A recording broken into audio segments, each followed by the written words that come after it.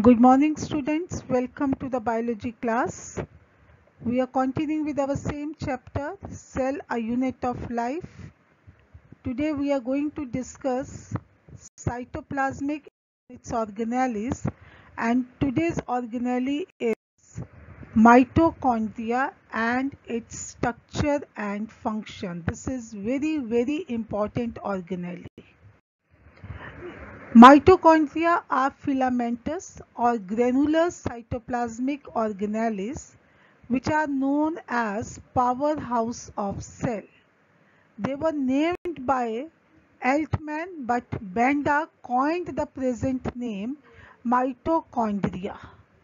Mitochondria occur in all eukaryotic cells of the plants and animals but plant cells contain fewer mitochondria. They are not found in prokaryotes and anaerobic eukaryotes. Anaerobic means which respire in the absence of oxygen. This is the image showing the structure of mitochondria. Mitochondria is double membrane. It is spherical sausage shaped structure having a double membrane this is the outer membrane, this is the inner membrane. As you can see in this image, the outer membrane is smooth, whereas inner membrane is being folded into the finger-like projections. These are the finger-like projections which are being known as the cristae. So outer membrane is smooth and inner membrane is folded into or projected into a finger-like projections that is known as a cristae to increase the surface area for the aerobic respiration. And they have their own DNA. They are having the granules. They are having their own ribosomes. And on the cristae you can say these are the particles which are being known as the oxysomes. They also helps in the ATP synthesis. So mitochondria are double membrane sausage shaped structure.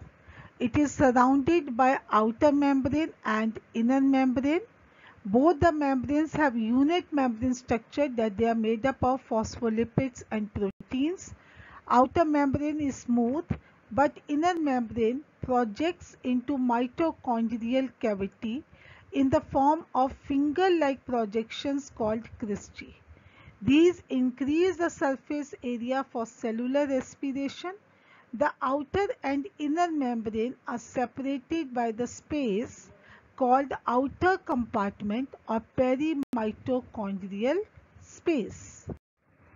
The inner mitochondrial membrane encloses the inner compartment which remain filled with proteinaceous material called mitochondrial matrix or simply you can call it as a matrix the fluid which is present inside the inner membrane. The matrix is rich in enzymes, a circular DNA molecule and many small ribosomes and that is 70S type. The inner membrane and the cristae bear a number of the particles which have spherical headpiece that is F1 subunit and the stalk that is FO subunit that is embedded in the lipid of the membrane and the combination function as ATP synthetase. In this you can see this is the cristae that is the infolding of the inner membrane. And on this there is embedded this oxysome or you can say F1 FO particles. This is the inner membrane this is the outer membrane this is perimitochondrial space. So this is F1 particle that is the base and this is the head that is your F0 particle and they are helpful in the formation of ATP synthetase. Mitochondria is known as the powerhouse of the cell because it is the main site for the aerobic respiration.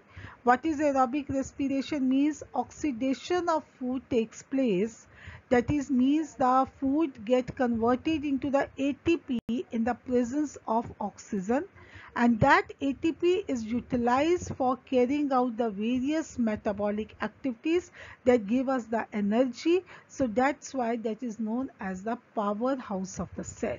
So this is about the mitochondria that is why, why it is uh, having a powerhouse of the cell, why it is being known as the powerhouse of the cell because it is a main site means the place for the aerobic respiration. What is the meaning of aerobic respiration? In which the oxidation of food takes place to release the energy and that energy is utilized for carrying out the various metabolic activities. So describe the structure and the function of mitochondria. So in this way in detail with diagram that question may come for 5 marks the next and the very important double membrane organelle is plastids.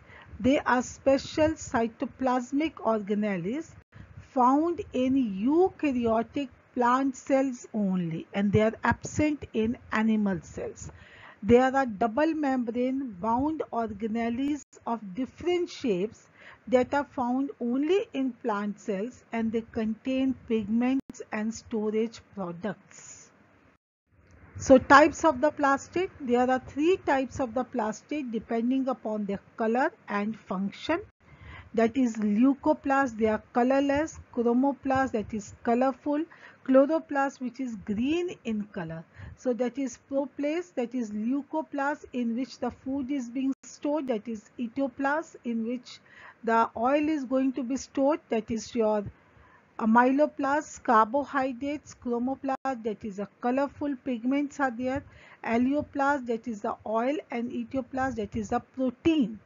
And proteinoplast they are the same one. Chloroplast in which the photosynthesis takes place because they have a green color pigment that is a chlorophyll. First that is your leucoplast they are oval spherical rod-like or filamentous and colorless plastids usually found in storage organs like tuber, fruits, etc. They are mostly not exposed to the sunlight. Their main function is to store the nutrient that is starch in the form of amyloplast, proteins that is the elaioplast and the fat that is the elaioplast. So amyloplast erythroplast and the alloplast. Next is your chromoplast. These are the colored plastids containing mainly the yellow, red and orange pigments other than the green pigments. So that is carotene and xanthophylls which are red and carotene that is a red color and the xanthophyll that is of a yellow color. They are found in the flowers. That's why you can see the different colors of the flowers are there. And the skin of fruits means the color of the fruits that may be yellow color, that may be red color. This is only because of the chromoplast. And because of the coloring is there, they attract the agents for the pollination that is your insects and the birds and dispersal of the fruits and the seeds takes place. So this is a function of the chromoplast. Next and very important is the chloroplast these are the green plastid containing various photosynthetic pigments like chlorophyll A and chlorophyll B and little of carotene and the xanthophyll. They perform the process of photosynthesis. That's why this particular plastids are present only in the plant cell because plant cells carry out a very very important function that is photosynthesis only because of the presence of the pigment that is chlorophyll. Then structure. The plastids may be lens-shaped, oval, spherical, discoid, ribbon-like or cup-shaped. Each chloroplast has double membrane covering enclosing the colorless matrix called as stroma and stroma contain the small circular double helix DNA as that of the mitochondria, ribosomes and the several enzymes. So both these organelles they are having their own DNA, own ribosomes and many flat membranous structures called as the thylakoids occur in the form of a stack of coins means the pile of the coins called as grana and they are interconnected by the stroma lamellae. So in this picture you can see this is outer membrane, this is inner membrane and this is your intermembrane space and it is double membrane structure. Here you can see the various shapes of the chloroplast that is the cup shape, this is ribbon like, fine, this is a different lens like structures are there. So this is again the ribbon like structure is there so the different shapes of the chloroplast are there and this is the outer membrane and this is the inner membrane and this is the intermembrane space and this is the matrix which is being known as the stroma and these are the stack of the thylakoids that is called as the grana. So that is a stack of the thylakoids that is known as the grana and the one particular that is the thylakoid and they are connected Why? this is the known as your stroma lamellae. So how that is the stack of the thylakoids or the grana they are being connected with each other. So they are green in color because they contains the pigment that is chlorophyll which used to trap the sunlight and convert the sun energy or you can say the solar energy into the chemical energy that is in the food form.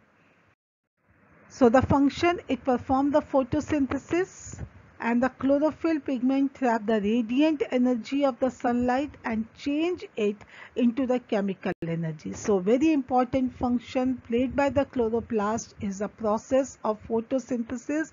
This is the only process by which the food is available in our surroundings in our universe. Very important question why mitochondria and the plastids called semi-autonomous organelles means they can perform their own activity independently from the cell. Why? Because they are having their own DNA and ribosomes and they can synthesize their own protein required for their functionings. So that's why they are not completely dependent on the cell. They are having their own DNA and ribosomes and they can synthesize their own proteins and that's why they are being known as semi-autonomous organelles. Very, very important question. So the plastids and mitochondria, they both are being known as a double membrane organelles, plays a very important role in animal and the plant cells. Mitochondria are being present in both the animals and the plant cells, but the plastids are present only in the plant cells. The next and the very simple organelle is a cytoskeleton. It is formed by the elaborate network of filamentous proteinaceous structure in the cytoplasm. It is made up of microtubules and microfilaments. They provide the mechanical support that maintain the shape of the cell, regulate the distribution and orientation of the cell organelle and they helps in the movement. So this is one of the very filamentous network of the organelle present in the cytoplasm which helps in maintaining the shape and the structure and providing the strength to the cell so that is known as the cytoskeleton. So today we discussed about the mitochondria, about the plastid, about the cytoskeleton and mitochondria, plastids they are very important. Sometimes the question comes you have to explain the organelles which are semi-autonomous and explain them. So First, you have to give the name of that organelle, that is your mitochondria and the plastids, and then you have to describe the structure and the function. Whenever the question comes that you have to describe the structure and the function, you have to draw the diagram along with it. They may or may not given in the question that you have to explain the structure with the help of diagram then it is clear that you have to give the diagram. But sometimes they simply said describe the structure and the function of powerhouse of the cell. So first you had to write mitochondria is known as the powerhouse of the cell. Then you explain the structure and the function along with the diagram then sometimes the question comes you have to explain the kitchen of the cell. So the kitchen of the cell where the food can be synthesized that is your chloroplast. Along with the diagram you have to explain the structure and the functions. So our next lesson will be on the cilia and the flagella which helps in the locomotion and along with that we will also explain the centriole and the centrosome and that will be the end of your chapter. And for your coming test or for the revision test for the unit test you will have the cell a basic unit of the life as a complete chapter for your test. So start preparing for your test from today only. Till then goodbye. Stay home stay safe stay healthy. Thank you